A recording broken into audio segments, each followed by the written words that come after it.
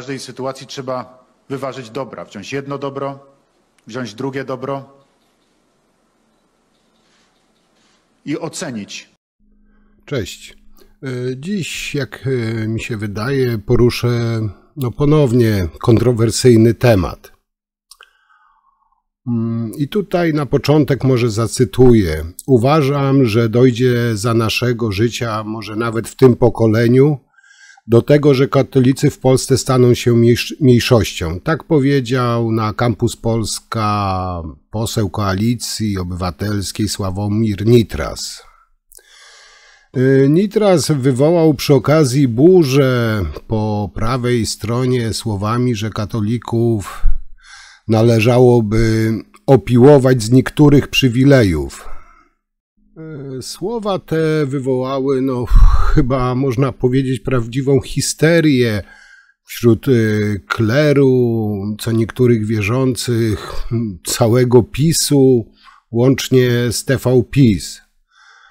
E, Na słowa Nitrasa dotyczące opiłowania katolików y, z pewnych przywilejów. Oczywiście ostro zareagował na Twitterze Przemysław Czarnek.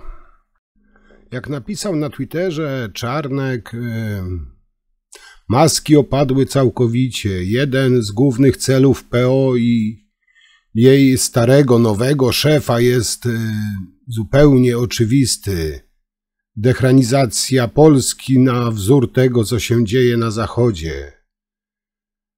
Kto wam to zlecił? No i takie tam e, bzdery. No tak mówię, prawdziwa histeria. A Nitrasowi tak naprawdę chodziło tylko w tych słowach o to, żeby Kościół przestał doić państwo.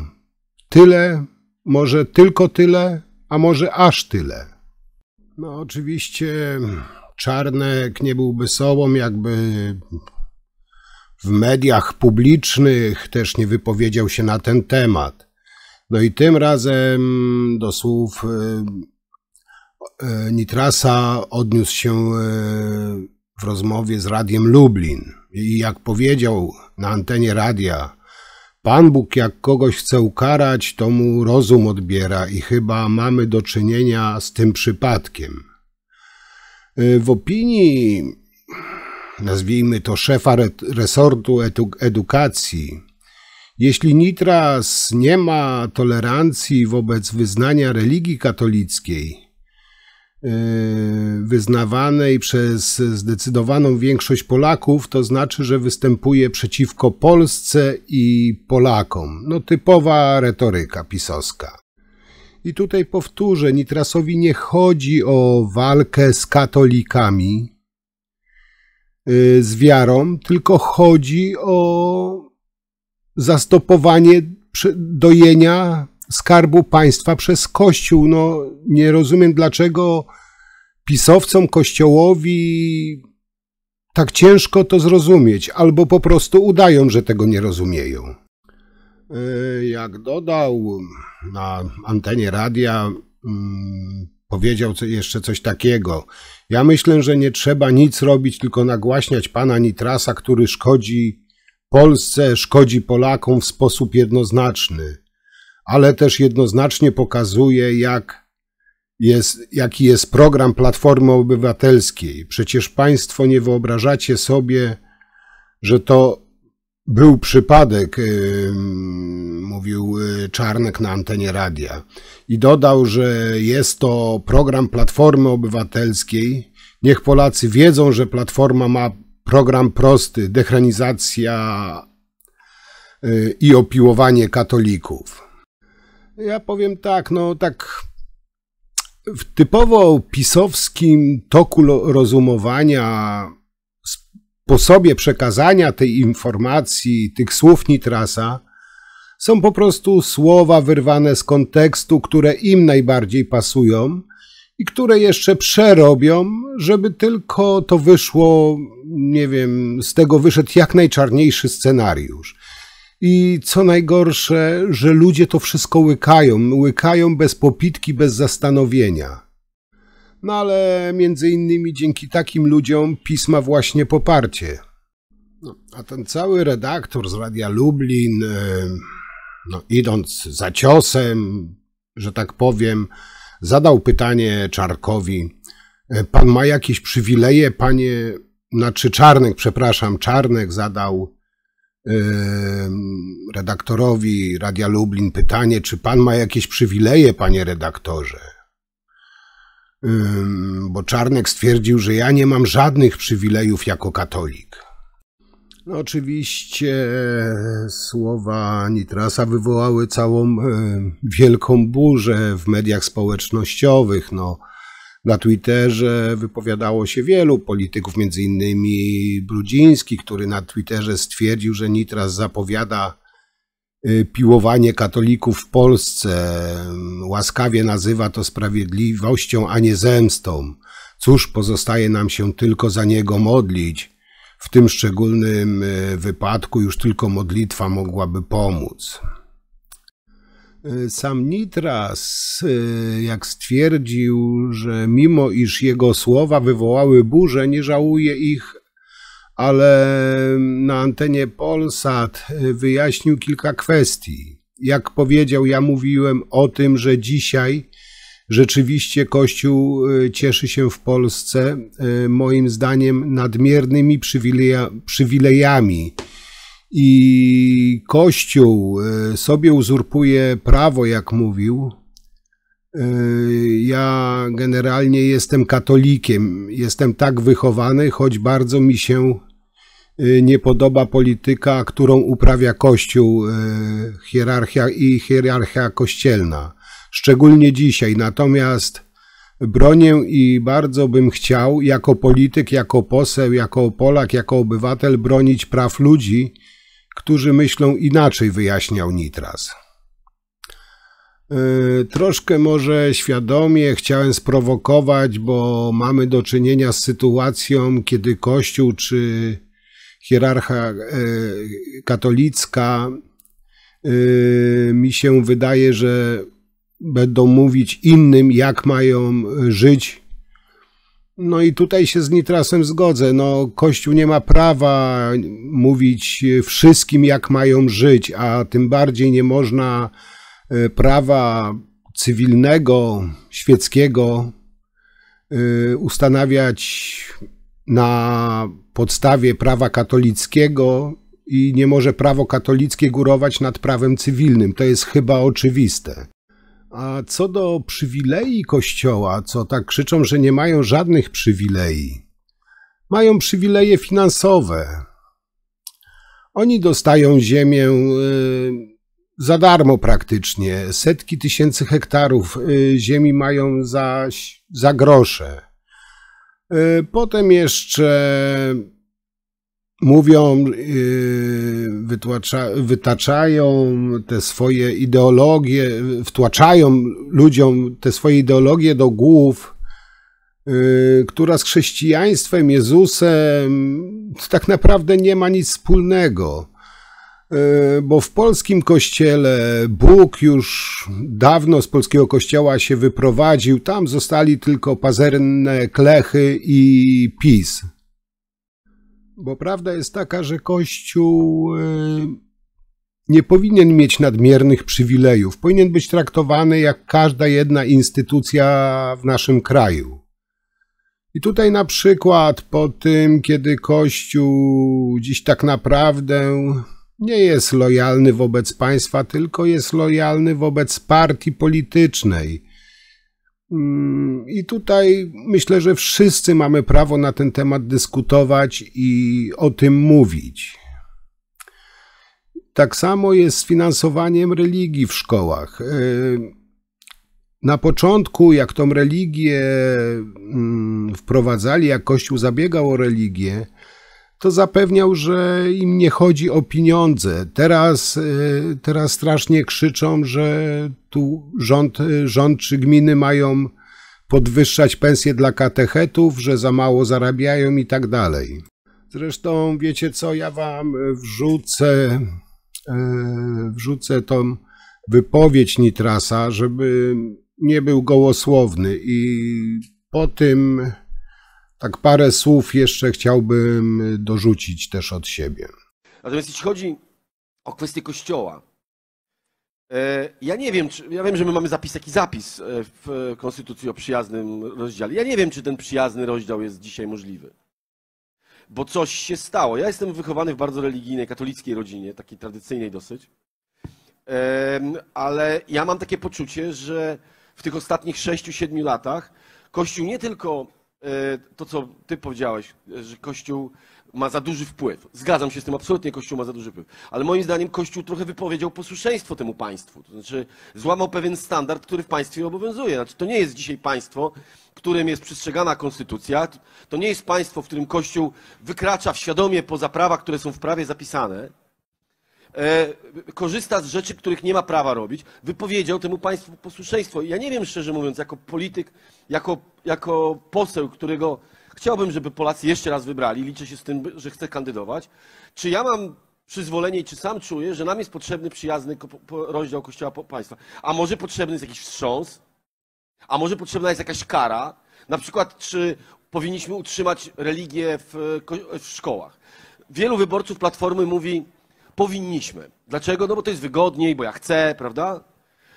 A może powinna być jakaś kara, mówię to wprost, za to zachowanie, za to wyłamanie się z pewnej konwencji, za to złamanie pewnego paktu społecznego, co wam wolno, a czego wam nie wolno. Więc na pewno w o to jestem spokojny, w perspektywie czasu dojdzie do ograniczenia roli e, Kościoła w państwie. Powiem więcej.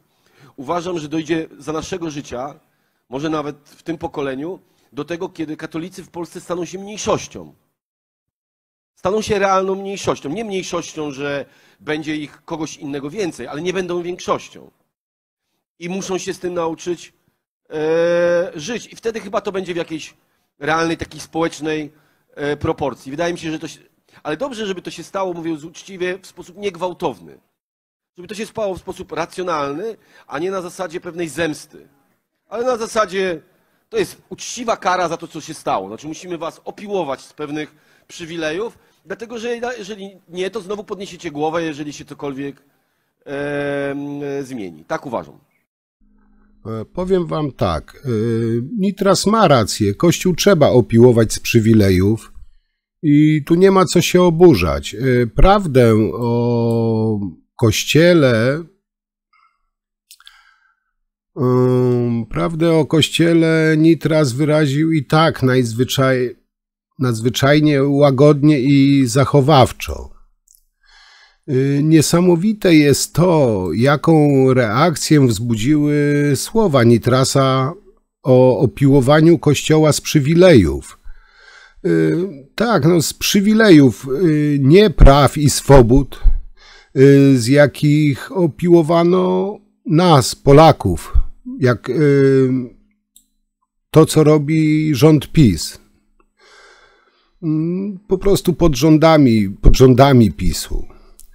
I tutaj przy entuzjastycznym wsparciu Kościoła, tutaj tylko, a tutaj Kościół tylko z przywilejów. I o tym, y, że Kościół powinien, powinien ponieść karę za to, co zrobił. I że nie powinien mieć wpływu na stanowienie prawa, o czym wspominałem. Terli, Terlikowski, jak widzieliście tam na którymś y, z tych screenów, nazywa to nieustającą histerią i co najważniejsze, przejawem nietolerancji religii. Ten ostatni zarzut warto potraktować bardzo poważnie i zatrzymać się na chwilę nad nim, bo E, taki właśnie punkt widzenia przyjmuje właśnie Kościół i, i PiS, gdy przejdzie do wymierzenia po prostu kary. E, W tym właśnie, e, tym właśnie argumentem e, spróbują zmanipulować opinię publiczną, zresztą już to robią. I tak, Kościół katolicki ma w Polsce olbrzymie przywileje i to nie jest żadną tajemnicą na które najzwyczajniej w świecie nie zasługuje. I które otrzymał, można powiedzieć, w najbardziej cyniczny sposób. Wyłudza pieniądze od polityków, sprzedając im swoje usługi yy, w naganianiu wyborców, robiąc yy, populistom czy autokratom, można powiedzieć, Pol w Polsce, no, w kościołach. Y, Wykorzystuje w tym celu wiarę, pobożność i serca katolickich wiernych. Kościół zawsze był cyniczny i zawsze leciał tylko i wyłącznie na kasę. Kościół, tak jak doskonale wiecie, stoi ponad prawem, korzystając ze swojej uprzywilejowanej pozycji. E, Prokuratury boją się wszczynać śledztwa przeciw ludziom Kościoła. Wymiar sprawiedliwości nie traktuje ich e, normalnie, lecz kryje, chroni przed odpowiedzialnością. Nieliczni idą do więzienia lub dostają śmiesznie niskie wyroki. Y, czyny, które w przypadku innych ludzi są przestępstwami, y, często wyjątkowo obrzydliwymi przestępstwami. W przypadku księży nazywa się grzechem, przewinieniem lub, jak to Rydzyk powiedział, pokusą. Y, Odrębn- odrębną krzywdą, jaką Kościół uczynił Polsce, jest jego działalność polityczna i udział w budowaniu państwa y, auto. nie wiem jak to nazwać. Autorytarnego może. Zaczynając od y, zgody na działania na przykład imperium, imperium Rydzyka, który doi wyjątkowo publiczną kasę. Mm, to imperium Rydzyka jest kuźnią fanatyków i populistów, y, początkiem, można powiedzieć, tego zła całego.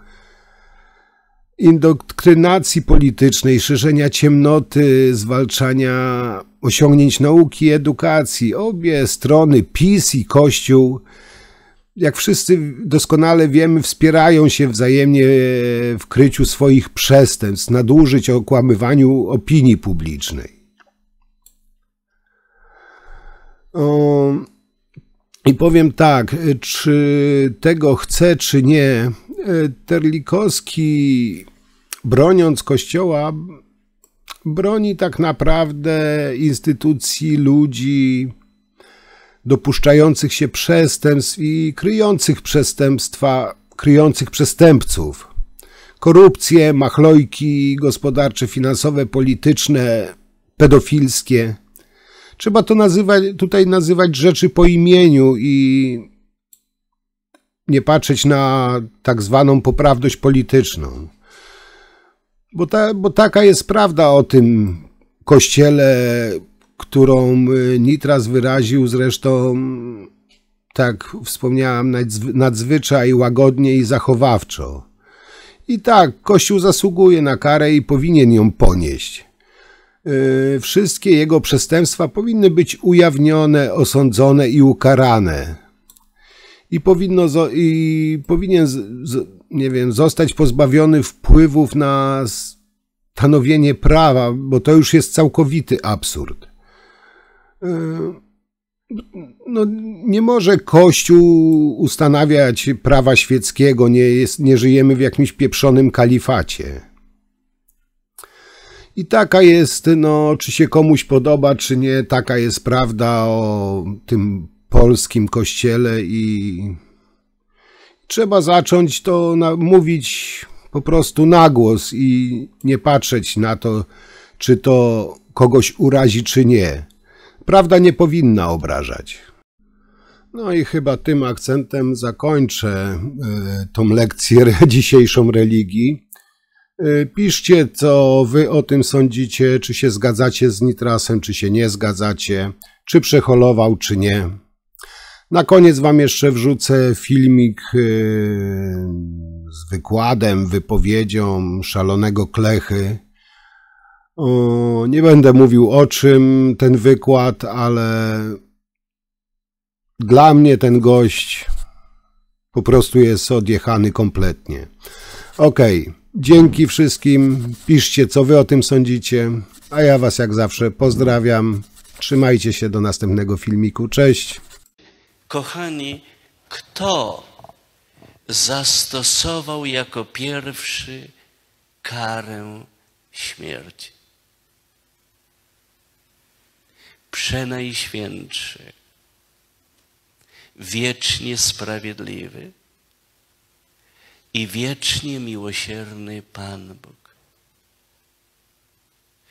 Kara, kochani, każda, także kara śmierci jest dobrem. Gdyby Pan Bóg nam nie podarował tego dobra w postaci kary, kary generalnie, kochani, złota brama nieba pozostałaby dla wszystkich pokoleń Adama i Ewy z wyjątkiem niepokalanej Matki Najświętszej Maryi na wieki zamknięta. Dlatego, kochani moi, moim studentom, jak przychodzili i chcieli z filozofii prawa pisać generalnie o karze, to ja im lekko sugerowałem, to muszę się przyznać. Powiedziałem, proszę podjąć temat następujący. Kara jako dobro.